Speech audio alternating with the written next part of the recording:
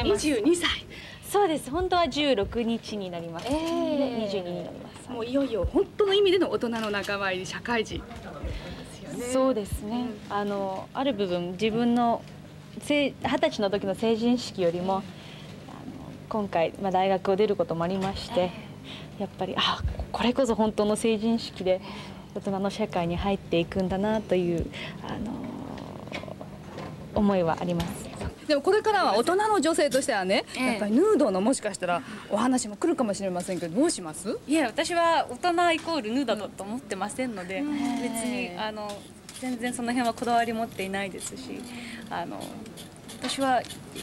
やりたいと思っていないので、はい、ないと思います。はい、写真集も誕生日に出ますよね。そうです。16日に今までそのあの私のもう本当に自分のプライベートのアルバムを出すようなものなんですが。今月16日にビデオ付き写真集も発売されるひかるさん。幼い頃から22歳の今まで彼女の全てを見せてくれそうです。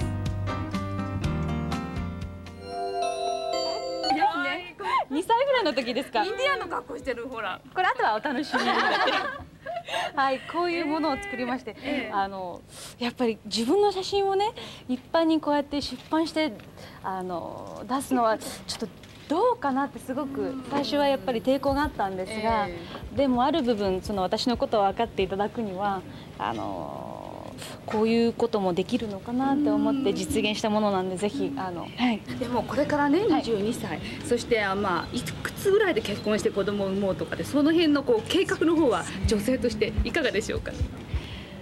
そうですね。うんもちろん理想ではありますが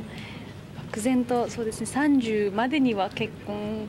ができればいいなと思うんですが。理想の男性像っていうのはどんな方ですか？やはりこういう仕事をしていますしずっとこういう仕事を続けていきたい歌も歌っていきたいと思いますのでその辺の理解のある方とあのなんかほんわかしてる方がいいですね。